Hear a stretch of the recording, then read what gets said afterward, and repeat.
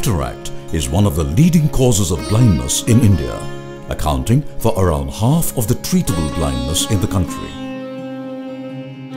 Cataract is treated through surgery and artificial lens implantation. While the surgical procedure and technology has evolved over the past decades and has reached a great level of maturity, reliability and safety, accessibility remains a huge barrier towards treating cataracts, especially in rural India.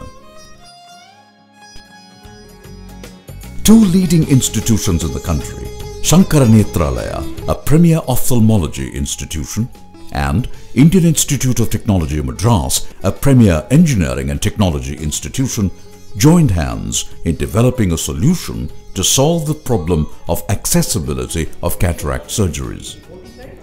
Performing a cataract surgery involves many, many departments. You saw a sterilization area, area where patient is anesthetized, area where patient is monitored, area where instruments are packed, area where instruments are cleaned, this area where all the instruments are being kept in a manner where surgeon is comfortable operating it.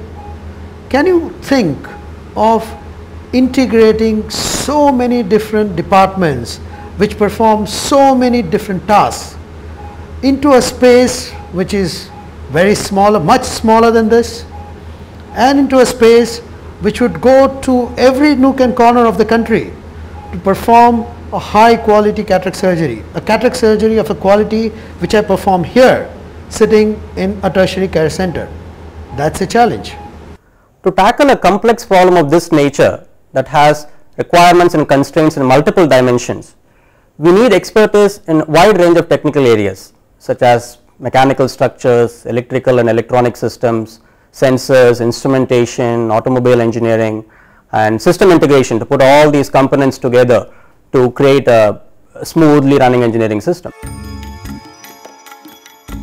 After several design exercises to meet all the requirements, the team finalized the design of the mobile unit to a set of two normal vehicles instead of a large vehicle this allows the mobile unit to travel through narrow roads and access remote areas.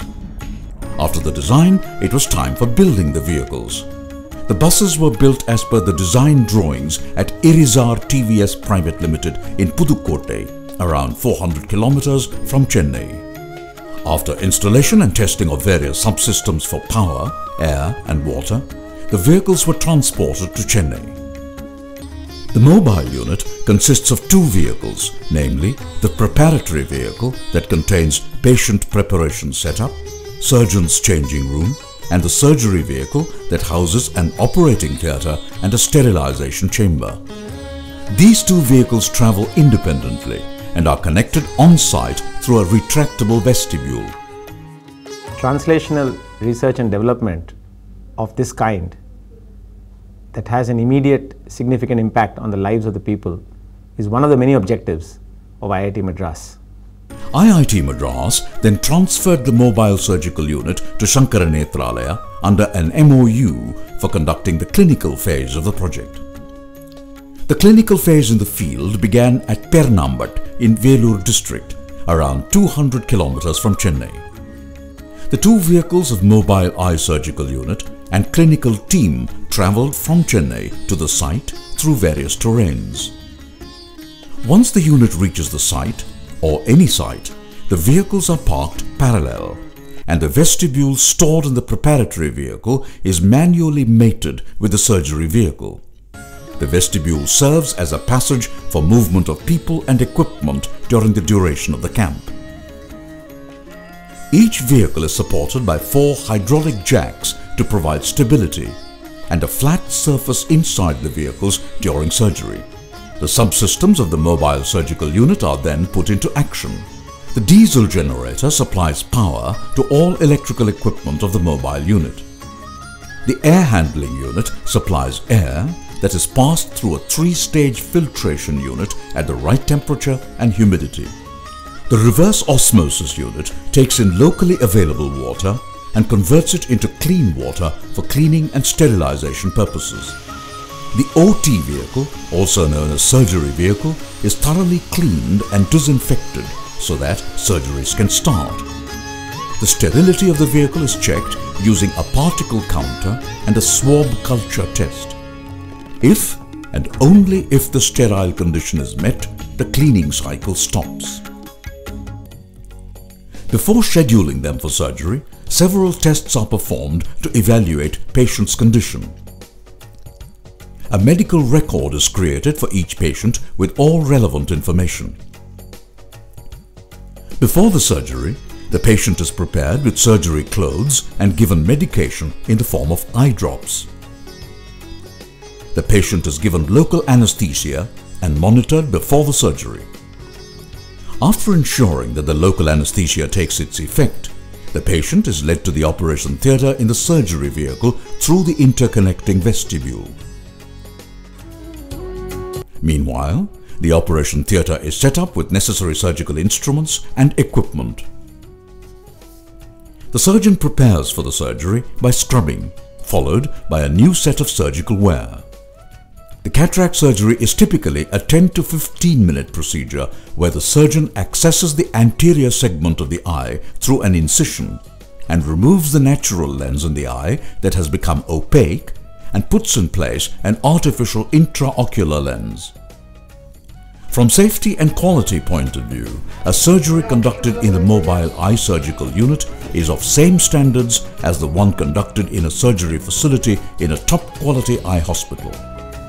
Operating in this mobile unit was very comfortable as we operate in any other operation theatre in Sankara Nethralaya. Therefore, this technology naturally widens the access to cataract surgeries to rural patients who are otherwise unable to access such facilities for various reasons. Uh, we have done all types of cataract surgeries like extracapsular cataract extraction, phacoemulsification and small incision cataract surgery. After the surgery, the patient is led out of the operation theatre to rest for a while before leaving for home the very same day. And our post-operative results were identical to our results in Netralaya. ஒரு பதினஞ்சு kilometre வரும் இது வந்து ஒரு ஆறு மாதமாக கண் தெரியாத சரியாக வம்பு கொடுத்துனுச்சு சரி இதனால என்ன பண்ணுறதுன்னு வாணிபடி போனேன் எங்கெங்கேயோ சுத்தனையும் போக முடியல வந்து இந்த ஆப்ரேஷன் பண்ணிக்கினேன் மூணு வருஷத்து செல்வேன் செல்ல இங்கே போகலாம் இங்கே போகலாம் யாரும் கூட்டிட்டு போகலாம் நான் என்ன பண்ணிட்டு பார்த்துக்க பஸ் யாரா யாருங்க கண் தெரியாது என்ன பண்ணிட்டான் யாரும் இல்லை சாமி The patient's eyes are examined on the next day of surgery, followed by a set of subsequent visits before they are issued glasses. This multi-institutional, multidisciplinary project shows what can be achieved by putting our heads and pulling our resources together. I compliment Sankara Nethralaya for walking the extra distance to overcome the many hurdles that came in the way of making this project a success. Such projects which aims at delivery of healthcare to the rural poor, making available good quality medical services should be encouraged and should uh, be made available throughout the country. This pilot project has successfully completed 486 surgeries, demonstrating feasibility and viability of such mobile eye surgical units.